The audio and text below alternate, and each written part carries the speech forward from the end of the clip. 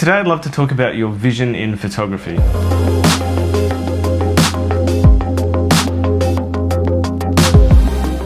I've been shooting for about seven years now, um, started in mid 2010, and you go, everyone goes through this phase where you try everything, you take photos of flowers, you're taking wide angle photos, you're taking telephoto photos, you get a zoom lens, you try bands, you try parties, you try everything. And over the course of time, hopefully you figure out the things that you really love doing.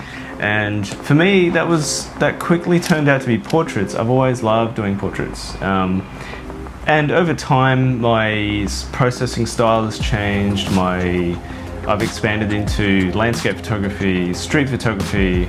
I've done weddings, I've done parties, I've done events. I've even shot a few music videos. Um, a couple of years ago, I was really into the cinematography, editing, directing.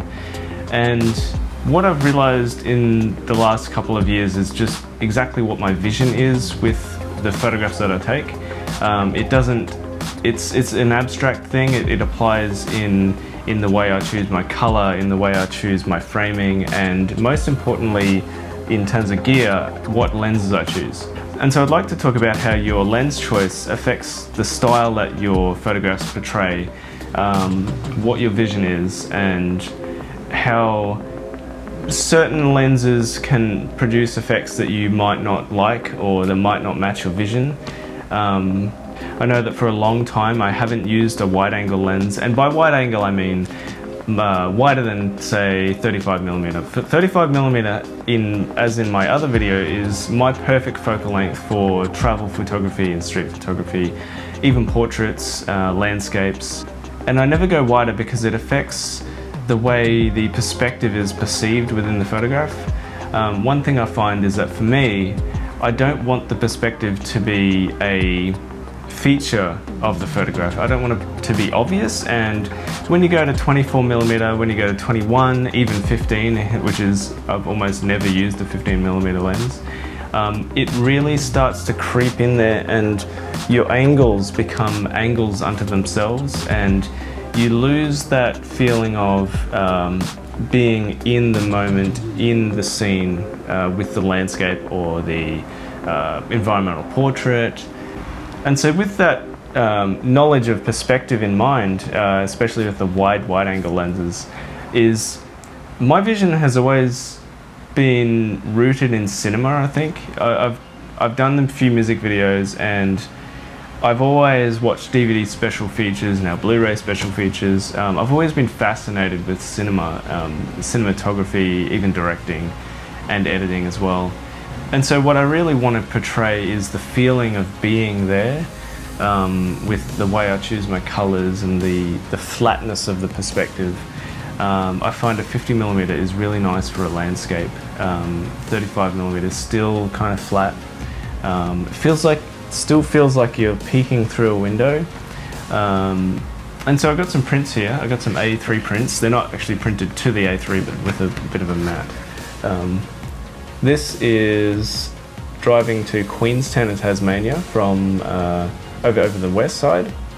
Um, I took this out of the car and this is all 35 millimeter by the way. Oh, I think one of these is 50 millimeter.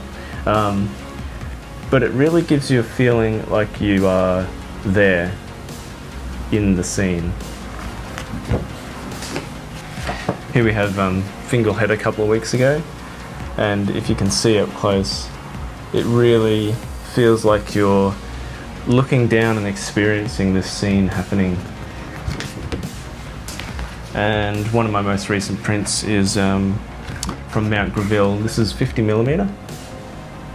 And as you can see, it's sort of like it, it feels like you're peeking through a window. Like a, one of the most important things in cinematography is the framing of your shot and the composition. And with a, a, wide angle lens, while there is a lot of use of wide angle lenses in cinematography, for me, when I take a photograph, it's because it's a still photograph, it's not a moving picture, it's not about the action that's taking place, it's about the composition of what's in the, in the photograph and the color and the perspective. And so a wide angle lens really calls out the perspective as part of the photograph itself, whereas I don't want to I don't want to use that. Um, and um, So a 35 millimeter and up really helps to sort of take that out of the equation and let you focus on the composition and the color and the contrast and the shapes within the photograph. And so it goes without saying that this is only my vision. I, uh, I love cinema. I love the way it makes me feel like I'm in a story. Um, and I'm glad that I found out my vision early on and sort of found out the nuances of why I want to choose uh, choose a certain framing or a certain lens to get my perspective.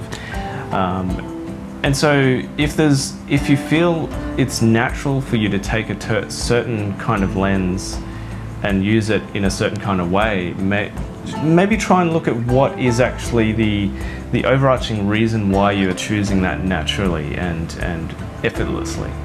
And in knowing that, and of course it comes from experience as well, you, you you really do want to try everything before you settle on the specifics of what your style is. Um, I think it's a lesson in life to say that you you can't say no to something until you've tried it first, and photography is the same way. Um, I know that some friends of mine use wide angle lenses all the time to great effect. Um, I certainly do use them. I use a 24mm if I'm doing a, a, party or an event. It really helps with that. Um, you get that sort of snapshot feel when you use a wide angle lens, which is what we're so used to, um, especially with phones, which are roughly 26 to 28mm in perspective. I advise maybe to go through your photos and, and just look at the reasons why you take you took them that way and why why those ones that you really love are the way they are. So I hope you've got something out of this video. Um, vision is really important to me nowadays because I've, I've been doing it for a while so I can sort of say that this is this is the reason why I choose these um, techniques that I use.